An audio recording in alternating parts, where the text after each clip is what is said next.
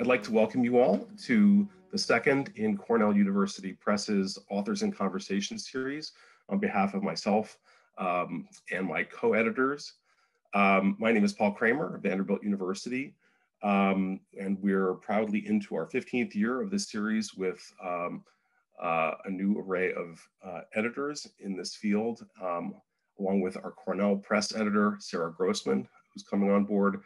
Um, and we're here to help launch and celebrate and discuss two exciting works in this series. Uh, Oliver Charbonneau's Civilizational Imperatives, America, uh, Americans, Moros, and the Colonial World, and Colleen Woods' Freedom Incorporated, Anti-Communism and Philippine Independence in the Age of Decolonization. Um, we'd like to start by just uh, having my co-editors briefly introduce themselves, and, uh, and then I'll go ahead and introduce our panelists, and uh, we'll have them briefly introduce their works, and then we'll just open it up for Q&A. So um, Sarah, do you wanna introduce yourself? Hi, everyone. Um, my name's Sarah, and I am, as of two weeks ago, the new sponsoring editor for the US and the World series. I'm very excited uh, to be working on this. I will say I first encountered this series when I was an editorial assistant way back in the day in 2010. Um, so it's been a long journey uh, for my to come, me to come here to you. I probably know some of you from my other Cornell University Press hat, which is as the editor of the Southeast Asia program publications, which as it happens over the past three years has seen an exponential increase in proposals about the Philippines. So I'm super psyched to be bringing my two, these two things together. Um, I think there's a lot of vibrancy and excitement in the field, and I really look forward to this webinar. So. Thanks. Uh, Judy. Thanks so much, Paul. And I just wanted to ask you if you could make Emily a participant. Um, she's our she's our um, fourth um, editor in our series. Okay, yeah, sorry. Let me uh, let me figure out the Zoom side of this. Uh, yeah, if you can go ahead and, and continue, and I'll work on that. Thank you, and thanks everybody for joining us. My name is Judy Wu. I'm a professor of Asian American Studies at the University of California, Irvine, and I also direct the Humanities Center it's been such a joy to be part of this series. Uh, one of my works has been published um, with US in the World, and I was so grateful for Paul um, for his mentorship in that, in that process. And I'm currently working on a study of Asian American and Pacific Islander women who participated in the 1977 National Women's Conference. I'm really looking forward to hearing from Oliver and Colleen and celebrating their work and hopefully those of you in the audience who might be interested in working with us in the future. Thanks, Judy. Um, ben. Thanks, Paul. Hi, everyone. I'm Ben Coates. I'm a historian at Wake Forest University. I'm really excited to be a member of the uh, co-editorial team here at uh, the US and the World series. Um, my own work looks at uh, histories of, of law and empire, and I'm also currently uh, researching the history of economic sanctions. Um, um, I wanted to just again extend a thank you to everyone who came here today to help us um, uh, talk about these fantastic books on the Philippines. It's been a uh, completely insane semester, so I'm glad that everyone could make it. Um, and I'm looking forward to hearing um, ideas and thoughts and, and, proposals from those of you in the audience. Uh, if you have any anything uh, you're interested in or, or questions, please um, uh, be in touch. Thanks. Um, so I'm just using my extremely rudimentary uh, Zoom non-skills. I've just added uh, Emily as participant. Um, uh, I don't know if, if she can hear us. Uh, Emily, are I'm you? Probably, I'm here. Great, fantastic. Okay just in the nick of time uh, with my Zoom skill, non-skills. So um, yeah, so you can introduce yourself. Yeah. Hi, everyone. I'm Emily Conroy Krutz, and I'm a historian at Michigan State University. Um, uh, like Judy, my, my, my first book came out with the series as well, so it's a real joy um, to be here on the editorial team with everyone. Uh, my own work looks at 19th century American religion and foreign relations. Um, I'm currently working on a book on um, missionaries who worked for the State Department and sort of participated in American diplomacy in the 19th century. Um, so looking forward to hearing from many of our participants in the future about wanting to work with us too. Thank you. Thanks, Emily. Um, okay, so uh, just to kind of kick things off, um, you know, as I mentioned, we have two really exciting books uh, in the field of kind of Philippine American 20th century history. Um, this is a, a, field that is, is a you know incredibly rich field, and as I was looking over the uh, list of attendees, I realized that many of the people responsible for that fact are here among us. So I, before we begin, I just want to thank those of you who have um, whose work and scholarly labor have gone into making this as rich a field as it is. I'd like to just thank you for that work and for and for attending. Um, I really feel like in important ways uh, we're really here uh, because of the, the collective work that that you all have done. So um, with no further ado, um, I'd like to uh, go ahead and just briefly introduce our speakers. Uh, so uh, we'll begin with um, uh, Colleen Woods. Uh, Colleen Woods is an associate professor of history at the University of Maryland, where she studies US history in a global context with special uh, emphasis on Asia and the Pacific. Her research interests include US empire, war and transnational politics, decolonization, and global imperial history.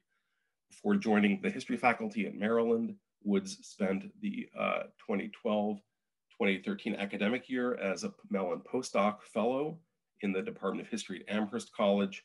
She received her PhD in history from the University of Michigan in 2012. Uh, she's currently working on a second project that will bring together histories of US foreign affairs, labor, and capitalism through a history of US military and military contractors recruitment and reliance on low-wage Filipino labor in the post-war Pacific. Um, yeah, it's really my honor and pleasure to introduce Colleen. We've known her a long time since our, our days together in Michigan. Um, so uh, Colleen, if you could briefly uh, introduce your project, uh, we'll, we'll each have each speaker speak for about eight to 10 minutes on their project, and then we'll open it up for Q&A. So take it away, Colleen. Great, thanks so much. Um, I'm going to read from something because if you know me, I will talk well over my 10 minute limit. So um, my eyes will be down off and on for a minute. Um, I want to thank everybody for, first of all, we have 77 people here. That's amazing. It's super exciting. Um, it's very weird to have a book come out during a pandemic when you don't actually get to see, you know, all the scholars that help you along the way. Um, I want to thank Paul and the editors as well. Um, so I'm going to talk a sort of brief overview about the arguments of the book primarily. So Freedom Incorporated considers the US-Philippine relationship from the 1930s uh, into the 1960s. Um, this was a period of fracture in the global imperial system. And I show that Filipino governing elites and their American allies used claims about anti-communism and US exceptionalism to strengthen uh, the position of the US in the Philippines, even after Philippine independence in 1946. The overall claim of my book is that American and Philippine anti-communist ideologies and political projects laid down a roadmap for what US expansion would look like during the age of decolonization.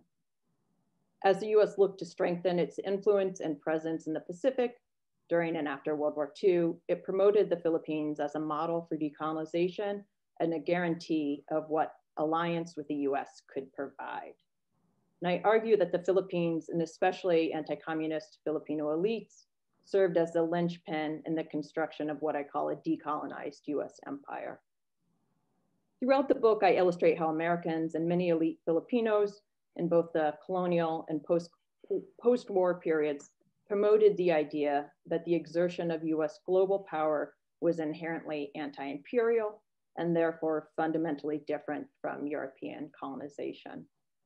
But as I detail in the book's first chapter, the US, which is one of many imperial powers in Southeast Asia. And in that chapter, I show that US imperialism in the Pacific um, both drew on and departed from imperial models of Britain, France, and the Netherlands. Um, furthermore, as Paul and Oliver and also many people on um, this webinar have detailed Americans' racialized conviction that Filipinos supposedly lacked the political capacity to govern themselves was a primary tool for Americans to establish colonial legitimacy. This made it difficult for Americans to claim that their rule stood apart from the global color line drawn by other imperial powers. Therefore, as a former American colony, the Philippines was a critical site in which US policymakers believed they could distinguish US intervention in decolonizing countries from the histories and contemporary policies of European imperialism. Both Americans and anti-communist Filipinos projected this exceptional vision of the Philippines and its political and social order onto the stage of global politics. Um, Freedom Incorporated examines how US anti-communist politics were put to use by American policymakers and their Philippine allies to explain how US intervention could exist alongside Philippine independence. The functions of anti-communist politics in the Philippines operated differently, um, operated in different ways during the early and middle 20th century. Anti-communists wanted to curtail communism's popularity on the islands, but they wanted to do more than that. Um, they were also interested in cultivating an anti-colonial nationalism. They wanted to convince Filipinos that post-colonial freedom could be guaranteed through a national commitment to anti-communism. So in the book, I look at um, a really diverse set of anti-communist actors. These include American and Filipino politicians, um, intelligence agents, military officials, um, members of paramilitary organizations, state bureaucrats, um, as well as international development and foreign aid technicians. Um, and I consider how these anti-communist act actors and their networks um, extended US imperial power in the Pacific by attempting to disarticulate the US from other histories of empire, um, imperialism, and in particular, the colonial racial order. Um, they had a deep conviction um, that anti-communism was the ideology of democracy and that imperialism, um, which was fundamentally anti-democratic, was a descriptor for communist Russia, but not the democratic United States. These anti-communists argued that the Philippines' transition to independence in 1946 proved the righteousness of this Cold War political binary. They argued that Philippine independence should serve as an example to the rest of decolonizing uh, of the decolonizing world, um, and especially other former colonial nations in the Pacific and Southeast Asia. Um, thus, Freedom Incorporated shows that anti-communist politics were entangled with US imperial uh, exceptionalism. So significantly, I show how uh, American and Filipino elites' commitment to casting the Philippines as a model colony made possible the Philippine state's own use of violence against its civilian population. For example, even though Philippine and American um, intelligence estimates stated that the threat of communist takeover in the islands was severely limited, um, the US heavily supplied weaponry um, and training to the Philippine armed forces. This legitimated Filipino elites campaign against a left-wing rebellion um, in the late 40s and 50s that was being fought to undermine the coercive um, and often brutal uh, and unchecked power of landlords by showing that US imperial exceptionalism was a central element in the Constitution of American global power, I demonstrate that assertions about um, the anti-imperial intent of American policies were bound up with anti-communist politics um, and often with disastrous effects for populations in the Philippines and Southeast Asia. Um, in effect, and really in short, I argue that anti, anti-communist politics um, severely restricted the horizon of political possibilities within the Philippines. So the first step of the book demonstrates that US imperialism and anti-communism in the 20s, um, 30s, and early 1940s became closely intertwined with American political ideas about the colonial order um, and the place of the US within it. So this is a period when Marxist and Leninist inspired anti-colonial movements, um, in particular forced American policymakers to grapple with the meaning of colonial control of the Philippines and what it meant for the United States' place in the global imperial order. Um, the book then moves through World War II and into the era of independence, um, illustrating how these ex exceptionalist claims from the pre-war period were used to support and obscure US anti-communist interventions. Um, thus, I analyze how claims about US imperial exceptionalism changed as the Philippines transitioned from colony um, to independent republic and as anti-colonial movements gained steam through the early Cold War period. Um, so that's a sort of general overview of the book. And I just want to take like one or two more minutes to talk about um, the sort of historiography and how I came to this project. Um, so most histories of the US engagement with decolonization offer narratives of US intervention um, and anti-colonial movements um, that begin in 1945. And there's a lot of reasons why this makes sense. Um, but for the Philippines, this periodization aligns with the beginning of essentially post-colonial nationhood and independence, um, and thus produces a story about the US role in decolonization that te tends to erase the history of American empire in Southeast Asia. Um, furthermore, as the US is often um, uh, considered a sort of latecomer to the imperial game and frequently characterized an, as an aberrant empire um, that ceded to ter territorial control for economic dominance, the US role in decolonization is often refracted or understood through the lens of the Cold War. Um, as a consequence, continuities between US imperial power and the colonial and post-colonial eras have tended to fall from view.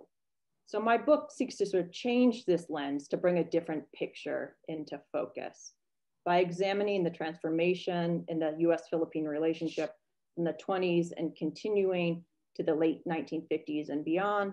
Uh, Freedom Incorporated brings the, seeks to bring, hope, hopefully it brings the discursive and structural components of US imperial power into clear view and thus, more generally, I seek to sort of reconceptualize the relationship between the United States um, and global decolonization. Thanks so much. Thanks so much, Colleen. Um, so uh, our second speaker is uh, Oliver Charbonneau. It's my great pleasure to introduce him as someone who has admired uh, his work for many years. Um, um, Oliver Charbonneau is a lecturer in American history at the University of Glasgow. He received his PhD University of Western Ontario in 2016 and taught at Brock University, King's University College, and Huron University College before landing in Scotland.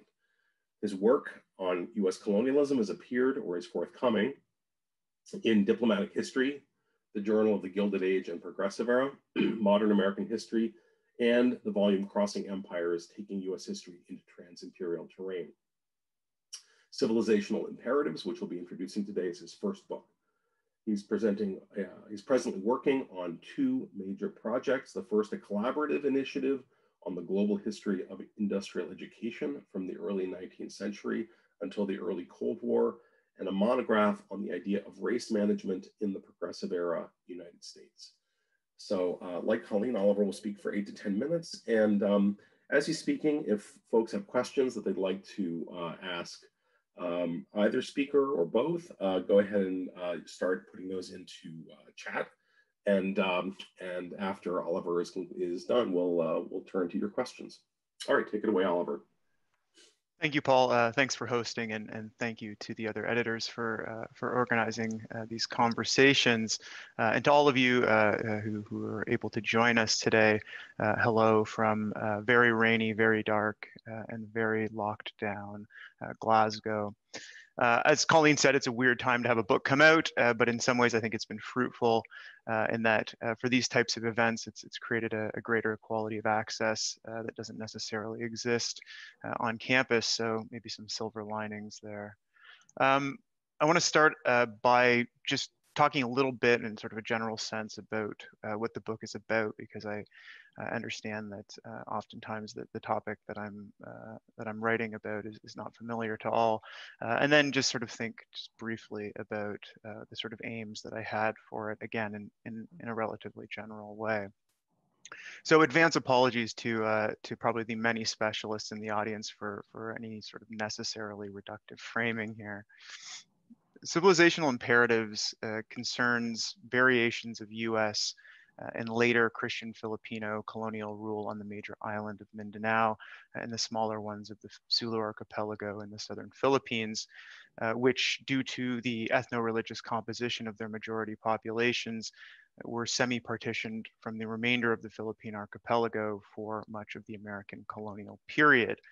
Uh, the book spans uh, roughly, uh, although with some deviations, from the Spanish-American War in, in 1898 uh, until the eve of the Second World War when, uh, when the Japanese Empire invaded, or the Second World War in Asia, I guess. Uh, the Southern Philippines was and is home to 13 ethno-linguistic groups that are collectively referred to as Moros. Uh, these are Muslim peoples who comprise a, a major population base in uh, Western Mindanao and the islands of Sulu. Uh, and it's also home to um, other indigenous groups collectively known as Lumad, uh, but they are mostly beyond the scope of my book. Uh, so the book itself is, is a close examination how, of how Americans designed and enacted colonial rule in the South. Uh, it is about local and regional responses to US colonialism uh, and also about patterns of violence that persisted throughout the period uh, and indeed, uh, uh, as Colleen's book also suggests, uh, lasted well beyond it.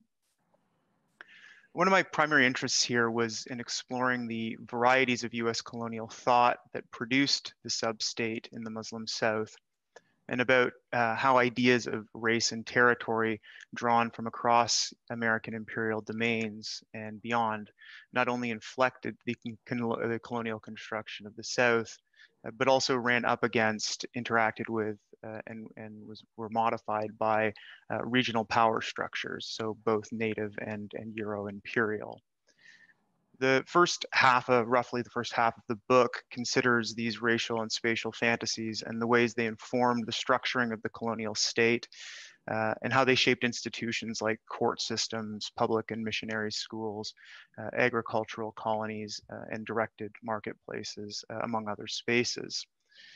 Connected to this, uh, of course, was the production of state violence, uh, which was rationalized by colonial authorities uh, with tutelary language uh, like that used to describe the benefits of the colonial classroom for Moro children. The persistence and local fragmentation of this violence across the entire colonial period suggests that homogenizing accounts of a Moro war uh, that ended when the US Army ceded power to civilians in 1914 uh, obscure more than they reveal. Beyond this, the book is also concerned with matters of scale and connection, uh, framing US colonialism in the region not only as a regional story, uh, but also one with diverse links to the continental United States, uh, Muslim Southeast Asia, and the Middle East, and a range of other empires. Uh, in the US, Moros uh, visited uh, as participants in human displays at the 1904 World's Fair in St. Louis. they toured East Coast metropolises as vi visiting dignitaries, and they attended college in the Midwest. Uh, fascinated by their colonial wards, Euro-Americans produced an array of fictions about them from children's adventure novels to radio serials to Hollywood films. Uh, but connection went beyond a straightforward colony metropole binary, uh, and civilizational imperatives considers how both Moro groups and American colonials were enmeshed in political, uh, economic, and cultural networks uh, that, that transcended imperial boundaries. so those in, in a nutshell are sort of some of the major areas of focus my aims for the book were relatively straightforward, and, and I hope these are realized in your readings of it. Um, the first was to give a fuller accounting of the colonial period in Mindanao and Sulu than previously existed in the scholarship uh, on US foreign relations. Um, hitherto, uh, most of the heavy lifting in this area, uh, including by some of the people here, uh, has been done by uh, Philippine studies scholars, by Southeast Asianists, and a smattering of US-based sociologists and anthropologists.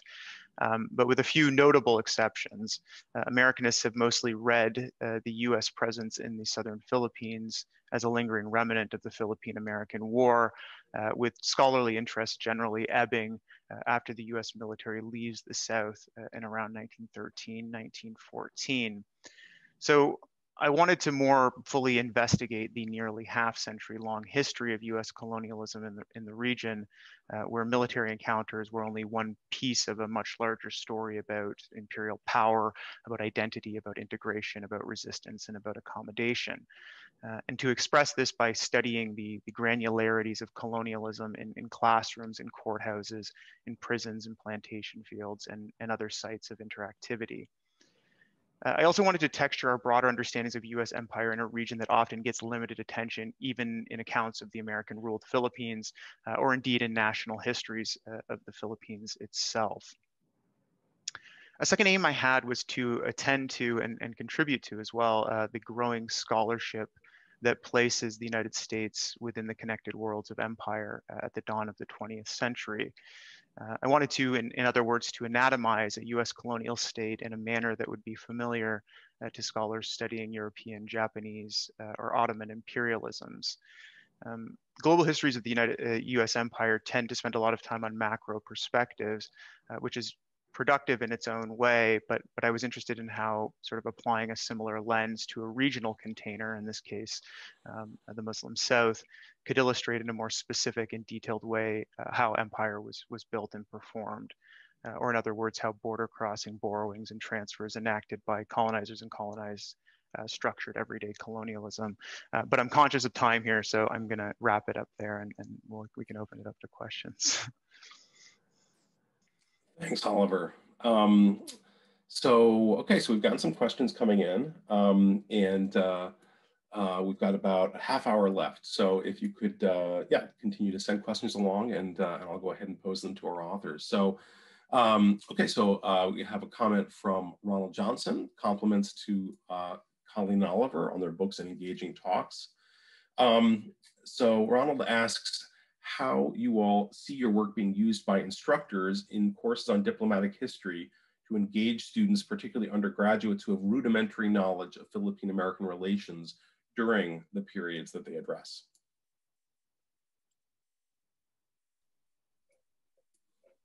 Oliver, do you want to go first, or I can't see Oliver uh, anymore. Go, go ahead if you you want to uh, go. The question was, uh, how do I imagine my work being used by instructors doing diplomatic history? Yeah. Yeah. Um, that's a great question. Um, I so what I would be really interested in having scholars use my work for, in, in, in hopefully a chapter, um, would be to sort of resituate um, a heavy focus on Vietnam and Southeast Asia um, in the post-World War II period as sort of the dominant um, sort of site of intervention for the US. Um, it certainly is, it's a large scale war, um, but there's other things happening at the same time. And in fact, Filipinos are participating in that war. Um, so I would be interested in, in having my work used to sort of complicate our story about Southeast Asia during, during the Cold War. It would be one example off the top of my head.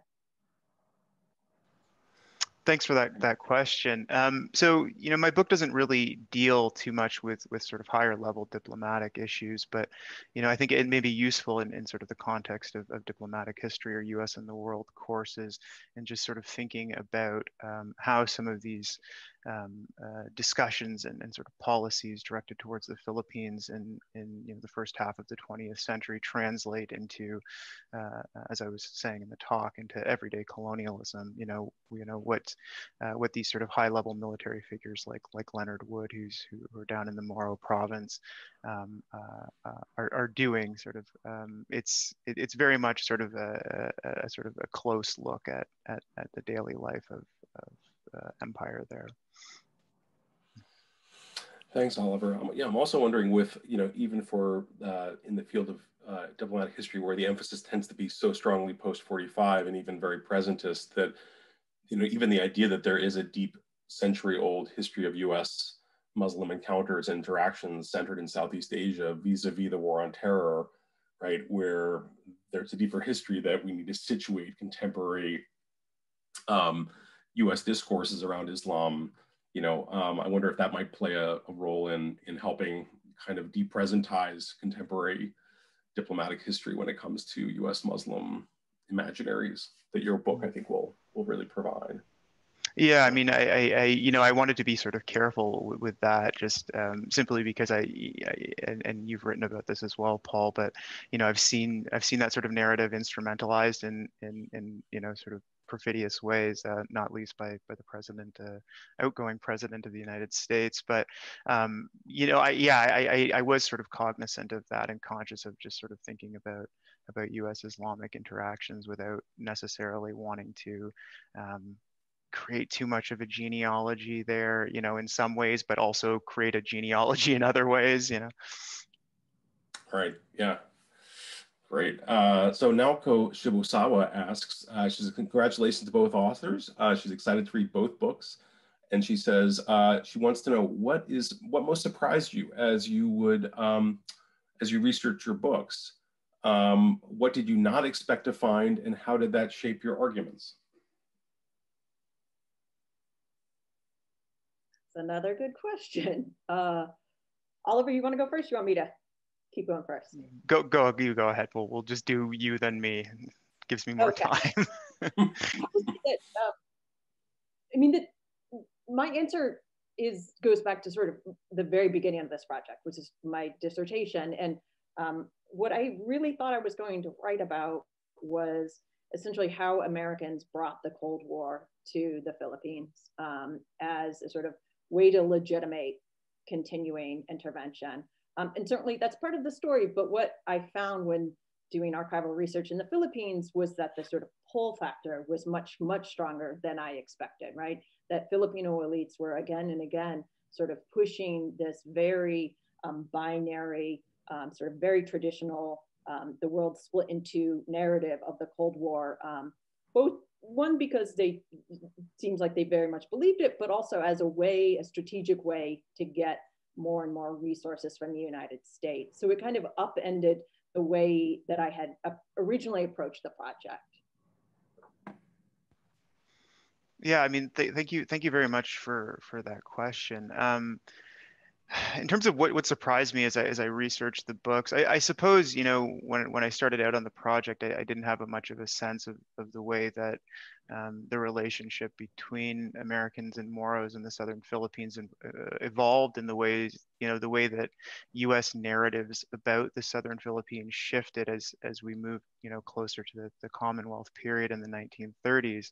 Uh, and so I, I, suppose I was I was sort of surprised to to see some of the um, perhaps uh, unusual or unexpected strategic relationships that developed between certain Moro elites um, in the 1920s and and um, particular uh, uh, interest groups within within the American colonial state and, and back in the United States who you know perhaps were advocating for deferred independence you know um, Moros who were, were more afraid of, of uh, Christian Filipino hegemony uh, than they than they were of, of, the continued U.S. presence. So I think that that was quite surprising to me. Maybe not to to anybody who's who's uh, spent more time uh, researching the topic, but certainly when I was writing the dissertation, it was.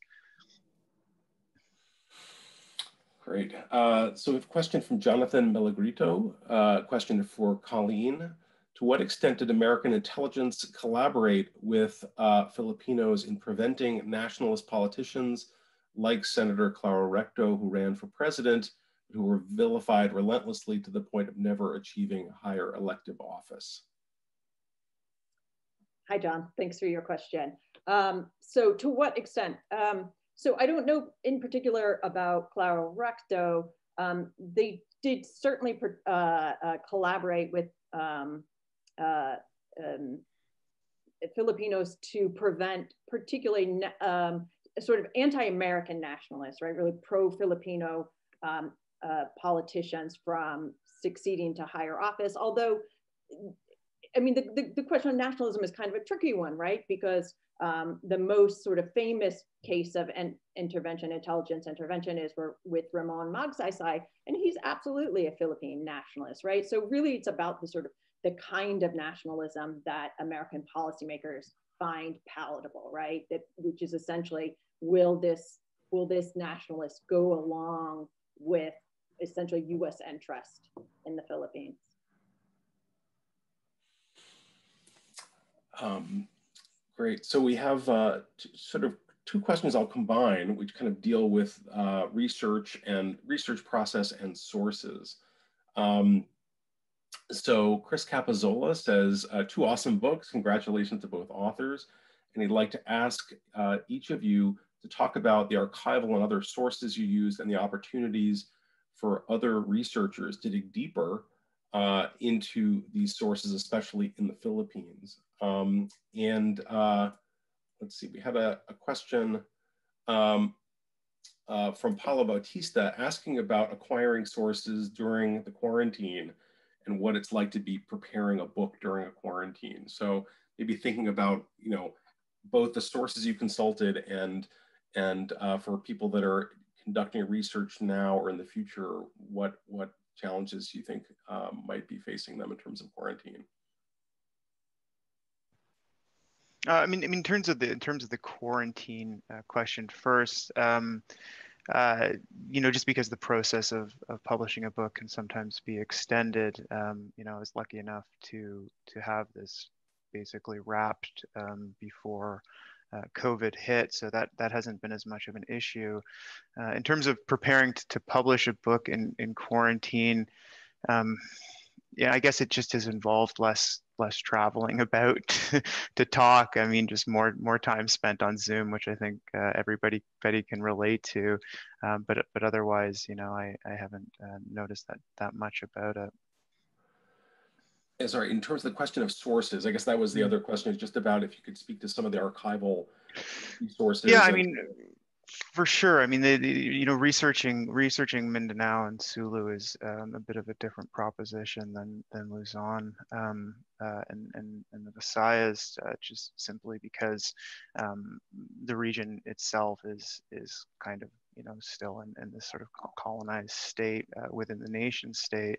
Um, so you know, for me, it involved um, snagging some sort of digitized sources from Cagayan de Oro, um, um, you know, what I could of Philippine newspapers, um, uh, really sort of uh, using data mining software on sites like archive.org uh, and HathiTrust to uh, pull down basically everything that had been digitized. Um, on Mindanao uh, that I could find and sort of make it text searchable so I could you know find the most useful stuff. Uh, and then beyond that i mean this this book is is largely a creature uh, you know admittedly of the u.s colonial archives. Um, so records from the sulu sultanate were were brought out of uh, Mindanao um, uh, after the Moro province folded uh, in 1913, 1914. Uh, and then, you know, there's just sort of bevies of, of letters and, and petitions um, uh, from Moros uh, connected to the, to the US colonial regime or in opposition to it um, that, that crop up in, in sort of really unlikely uh, archives, large and small, across the states. Thanks. Colleen, Colleen, do you want to speak to the source question? Yeah, sure. Um, I mean, on the question of quarantine, wow, I'm really glad that I was able to have all my research done before quarantine. I'm on sabbatical right now this term and um, trying to get the second project underway, and it's just, it's been entirely stalled because of, of quarantine. The National Archives have been closed since mid-March, right? And I don't see them opening anytime soon. Um, there are, I mean, I shouldn't be so doom and gloom about it, right? There are possible, a lot of possibilities out there for um, online research, but for my particular project I'm working on, it, it hasn't, I haven't been as lucky. Um, on the question of archive sources I used, I mean, like Oliver, mine is heavily a colonial archive. Um, the US National Archives was um, really, I would think, the, the, sort of bulk of my records. Um, but something I want to I want to say about that, particularly for um, graduate students, perhaps on this or younger junior faculty, is that um, the US National Archives, and particularly if you're looking at military records, which I did, they have this amazing capacity to suck up records um, that are um, originate in another country or from another population. So I found a, a lot of Tagalog records and Tagalog language records in the US National Archives. Um, and I had a, a lot of sort of trouble finding, you know, the sort of equivalent when I was doing research in the Philippines right? So there are a lot of sort of opportunities if you can spend the time digging in US National Archives for records that are have been collected by US authorities, but have not been produced by US authorities. Thanks. Um, so question from Stephen Rodriguez uh, for Colleen. Um, how might the strand of American exceptionalism you examine in your book have interacted with Philippine exceptionalism? Did the mm. Filipino you see uh, uh, you study see American exceptionalism as tying into a larger exceptionalist Filipino narrative? If so, what were the unique features of that narrative? Wow, that is a really good question. Um, and I'm not, I'm not totally confident that I um, can come up with, with a great answer off the top of my head. This might be something I want to sort of think about and come back to.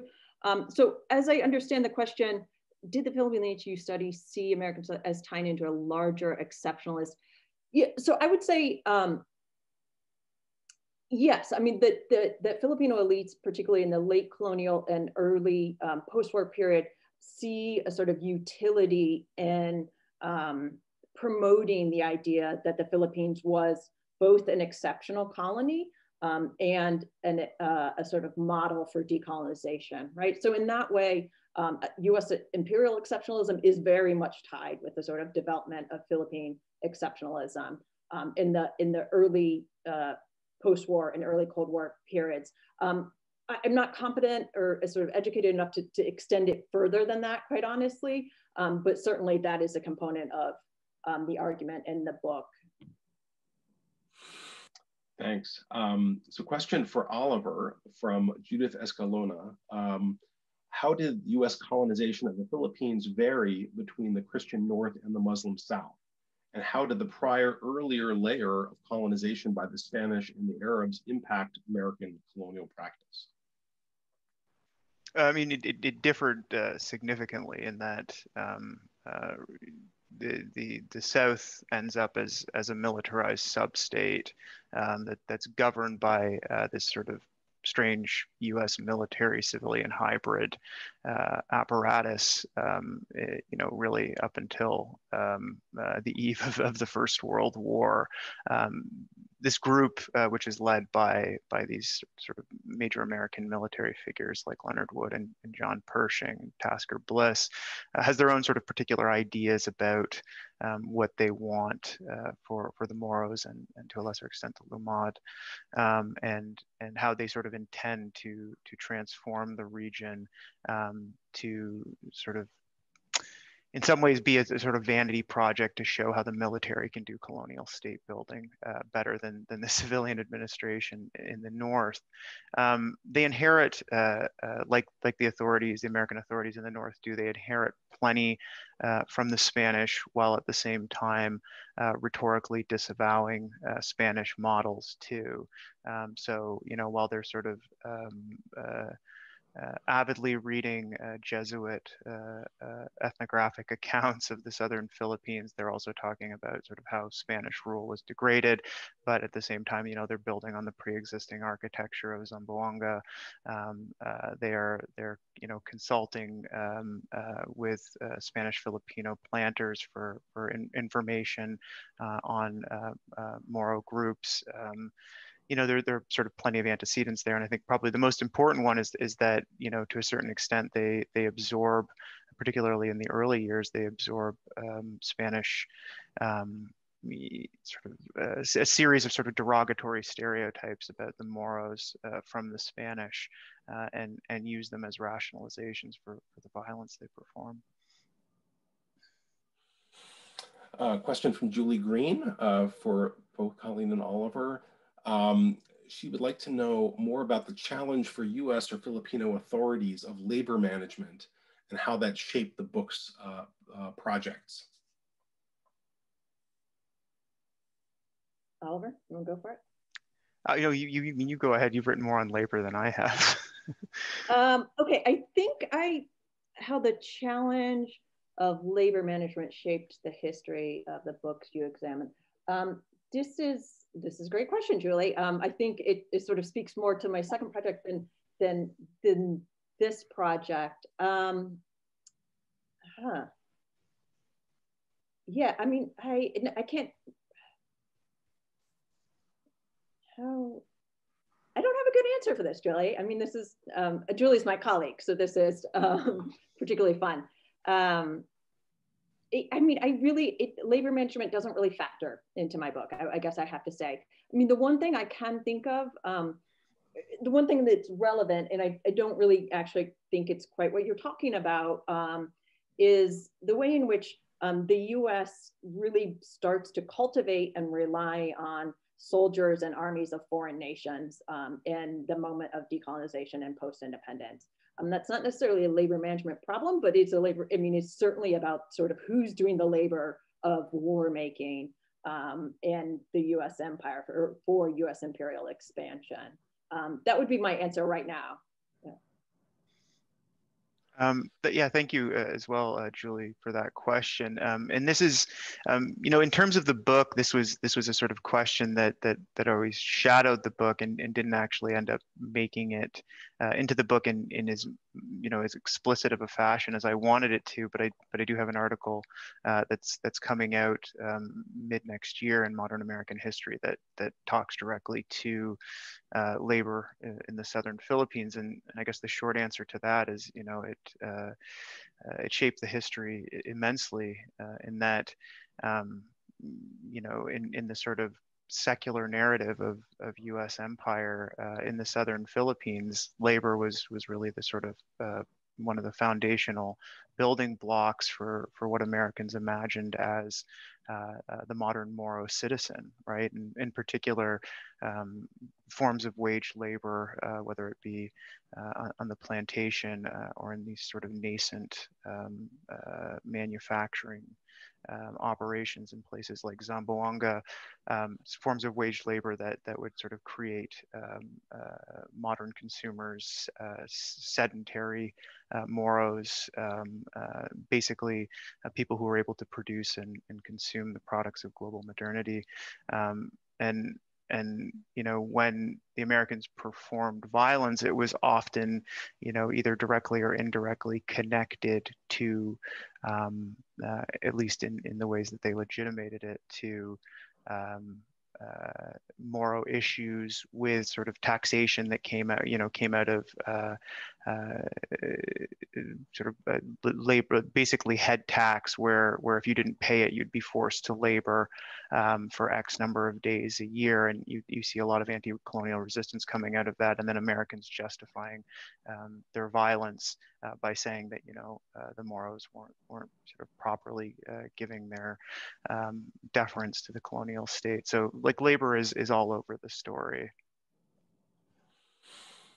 So Ali A uh, asks, uh, as someone uh, interested in interdisciplinary relationships between literature and history, uh, are there any fictional accounts of your subjects that spring to mind or might be recommended? Um, I can I can jump in there first, Colleen, to not to not make you go first. Well, I mean, uh, you, you, actually use literature in your in in like in in your uh, as well, so. Yeah, um, yeah. We mean we we see uh, we see we see a number of fictionalized accounts of the southern Philippines cropping up in the United States in the first couple decades, um, actually and beyond uh, uh, in the United States. Um, um there were um, boys' adventure novels, so like you know the the type of stuff that you would see in uh, more commonly examined in the British imperial world. Uh, you see that uh, books about, you know, Uncle Sam's boys fighting, fighting the Moros, um, a, a woman who, um, who lived for, for a time, an American woman who lived for a time in the southern Philippines, um, published a, a, collection of stories called uh, Piang, the Moro Jungle Boy, um, that were sort of a, a sentimentalized and, and sort of you know, highly uh, Orientalist uh, account of uh, a so-called good Moro who collaborates with the Americans to his benefit, and you know, showing all of the different sort of um, positive outcomes of American rule. Um, a long-running play on uh, in Chicago and then on, on, on, Broadway was called The Sultan of Sulu, uh, which was a fictionalized account by George Ade um, of uh, Sultan Jamalul Kiram II um, under a slightly modified name. Um, there was a movie made. Uh, there were radio serials. So yeah, I mean there was there was plenty there. It, it only sort of uh, disappears from from the public narrative um, after the Second World War. Colleen, were there fictional or literary elements or things that surfaced in your research? Uh, I mean, certainly, so Carlos Bulosan, who, um, you know, is a famous um, Filipino and Filipino-American author, um, wrote a novel, The Cry and the Dedication, um, about the Huk Rebellion. And there are, in fact, uh, um, a couple of novels about the Huk Rebellion. I, I don't really, I don't uh, uh, integrate literary work into, into this. This is um, but um, I would highly recommend it. And also, um, interestingly, there's an author named Denis Johnson, and I'm kind of forgetting the um, the uh, Tree of Smoke, who um, has a a book that's really about um, kind of Vietnam, but it begins in the Philippines. And I remember writing my dissertation and somebody being like, "This is this is your dissertation in novel form." So I recommend that as well. Um, so, question from Teresa Ventura. Um, uh, let's see, uh, for Colleen. Um, she says, you mentioned that the Cold War foreclosed many possibilities for the post-colonial Philippines. Could you expand on these possibilities and their relationship uh, to the older colonial state, i.e. developed in tension with or opposition to American colonialism? Yeah, that's a great question. Thanks, Teresa. Um, so the real, so after World War II, there is uh, the Huk Rebellion that's happening, and it is, um, it grows out of post-war guerrilla politics. Um, but at the same time, there is a sort of movement which um, I think is sort of best called a sort of popular democracy movement um, that is not, um, that is sort of related to the Huks, but not a part of it. Um, and it has to do essentially with um, what I think the equivalent of kind of like a New Deal program um, for the Philippines. and those are really quickly sort of associated as kind of part of the communist program, right? And so there's really a, the attempt to basically incorporate individuals who um, either were part of the Huks or adjacent into sort of the democracy, right? Say that, you know, are we want to participate in, in politics, right, through voting and through being elected and have our interests represented um, is, is essentially collapsed in the late 1940s. Um, and so that is the sort of the horizon of political possibility that I see as having sort of closed down in this moment um, because of anti-communist politics. I think that answers your question, yeah. Uh, thanks. Uh, so a question from Eric Kreiner for Oliver. Uh, he asks, if the archipelago-wide goals of the United States were the same despite the discrepant motivations and allegiances within the anti-colonial resistance, do you believe that historians should continue to separate the Philippine-American War on Luzon and the Visayas and the campaigns against the Bangsamoro in Mindanao, or should we frame both together for the purposes of articulating a more comprehensive colonial narrative? Uh, I'm I'm going to sort of um, split the difference here and, and and say both. I mean the reason the reason that I um, I wrote mine my my work specifically on the southern Philippines was just because I I saw um, a lack of comprehensive accounts uh, of that particular topic, and you know particularly when when we're talking about um, histories of the United States and, in the world as they relate to the Philippines um, but I mean, at the same time, I think that there there sort of would be, be some value in um, looking at these these contexts in a shared way. I mean, you know, t- to the best of my knowledge, there's there's no um, sort of comprehensive book length study of, of sort of how violence was produced in both of these spaces, you know, across the entire colonial period. Um, they certainly shared personnel, they shared resources to a certain extent. Uh, they were in dialogue with, with one another. I mean, Americans and, and um, uh, peoples of the Philippines Islands uh, uh, alike. So um, I think I think I think there is there is value, you know, sort of um, separating the the two uh, for for purposes of analysis because you know in, in, particular the Moro province was a very very different space and it had its own sort of peculiar rhythms and logics um, but but I think a, a, more sort of comprehensive history that that sort of bridges those gaps rather than just sort of filling one of the gaps like my book does I think that would be incredibly useful. Thanks. Um, well, I'd like to ask you all a question, and we're running out of time here a little bit. Uh, but uh, you know, thinking that there might be uh, young scholars, uh, emerging kind of grad students looking for topics, uh, uh, scholars looking for future research agendas, and I'm just wondering if, you know, um, thinking about them, if there were topics that you came upon. Um, or that you know inspirations that were kind of sparked during your research that you thought I really want someone to do a project on this um, this would make a terrific, you know, article, uh, book, manuscript, et cetera. And if you could just share um, some of what those were. I can go, Oliver, since you answered the last one. Um, yeah, I love this question. This is a great question. Um, so I will say that my book is um, very Manila centric um, and it is really focused on political elites. Um, and there's a lot of work to be done, I think, sort of gets at the perspective um, at people at sort of a more local level or the provincial level. Um, some of that work has already been done in terms of the sort of Huk side of the story, right? And I, I know uh, Vina Lanzona is on here. Um, and without her book, like my book would not be possible. But I, I, I actually mean the sort of the anti-communist side of the, the local level. I mean, there's just a lot of work to be done um, just in sort of getting um, at the sort of social history of what the immediate post-war years and what the transition to independence looked like in the Philippines that, um, you know, I couldn't do because of, um, you know, my sort of my language skills or time and resources, let alone the sort of length of a book, right? Um, the other one would was something that um, I sort of discovered relatively late in doing research, and that was this, this discovery that um, uh, Filipino anti-colonial actors were very much tied in and very much a part of um, the global circulation of um, primarily communist uh, uh, organized anti-colonial movements in the interwar period.